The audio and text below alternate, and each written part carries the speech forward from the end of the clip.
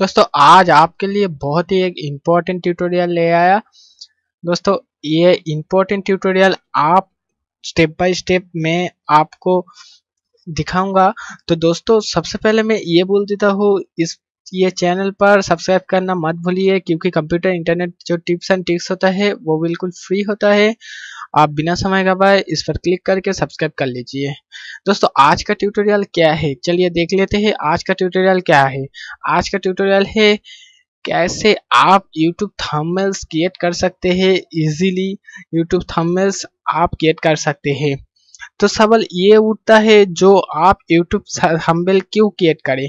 क्योंकि जो आप YouTube पर वीडियो देख रहा है, वो वीडियो आपके नज़र में आ सकते हैं और ऊपर से ब्यूटीफुल लग रहा है, वो ऊपर से ब्यूटीफुल लग रहा है, वो थंबनेल जैसे अच्छा है, वो थंबनेल अच्छा होने के कारण है, उस, वो वीडियो पर बहुत सारे क्लिक आ सकते हैं और क्लिक पढ़ सकते हैं।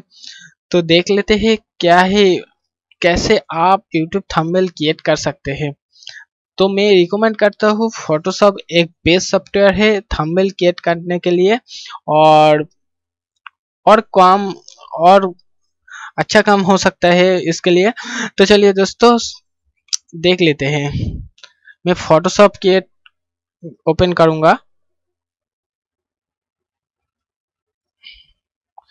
ये फोटोशॉप के ओल्ड वर्सन है। आप चाहे तो न्यू वर्जन यूज़ कर सकते हैं। ये फ़ाइल पर जाकर आप न्यू में जाकर ये जो कस्टम है, आप वाइट और हाइट पिक्चर साइज़ भी आप दे सकते हैं। इस पर मैं ये साइज़ रखने वाला हूँ तो ओके कर दीजिए। देखिए, एक पेज आ गया।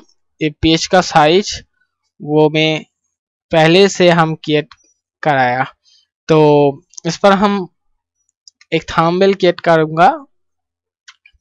तो देखिए, ये जो डब्बा है, ये क्रिएट ए न्यू लेयर इस पर क्लिक करके एक लेयर लूँगा और ये जो काला है, काला पर क्लिक करूँगा। ये फील कलर है और मैं कलर चूज़ करूँगा। जो मेरा कलर पसंद है ये कलर ठीक है? और आपका कीबोर्ड पर कंट्रोल और डिलीट ऑप्शन दबाइया दबाकर आप ये कलर आ जाएगा ये पेज में और टेक्स्ट है ये बटन टेक्स्ट बटन पर आप क्लिक करके आप ये पेज पर क्लिक करना होगा और आप लिख सकते हैं देखिए, नहीं आता। ये कलर पर आप क्लिक करके सिलेक्ट करके टेक्स्ट को सिलेक्ट करके कलर पर क्लिक करके आप व्हाइट कर लीजिए। देखिए, आ गया। थोड़ा सा बाद है। हाँ चला आएगा। देखिए, आए। और इस पर क्लिक करके आप उस पर क्लिक कर लीजिए। हाउ टू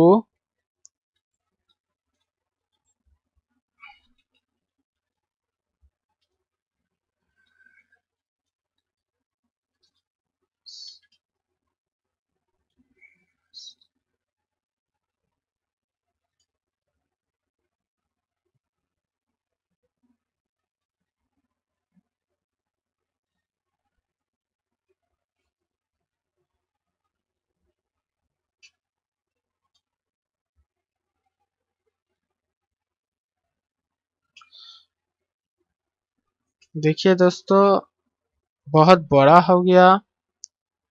आप टी पर क्लिक करके पूरा सिलेक्ट कर लीजिए और इस पर क्लिक करके आप साइज़ भी कम कर सकता है। देखिए टेन हो गया। क्लिक करके बोल्ड कर सकते हैं और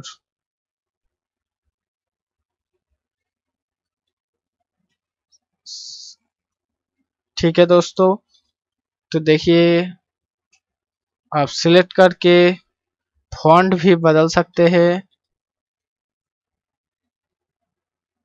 बहुत सारी फॉन्ट है।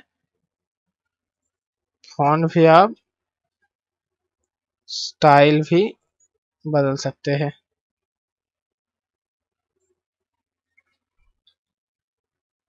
ठीक है दोस्तों और आप पिक्चर भी ऐड कर सकते हैं।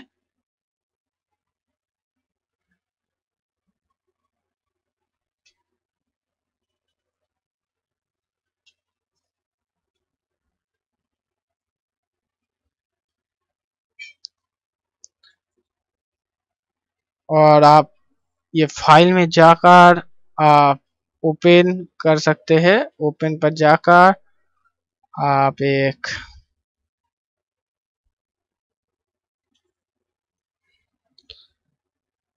ये पिक्चर भी आप ऐड कर सकते हैं।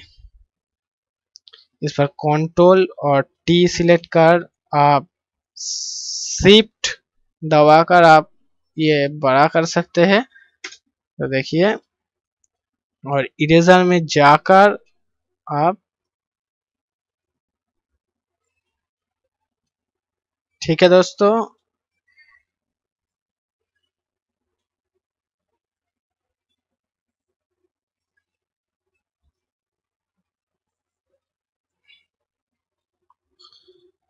और आप सेव भी कर सकते हैं।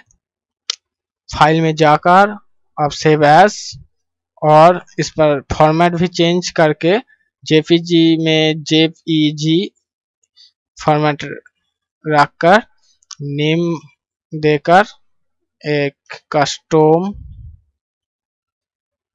कस्टम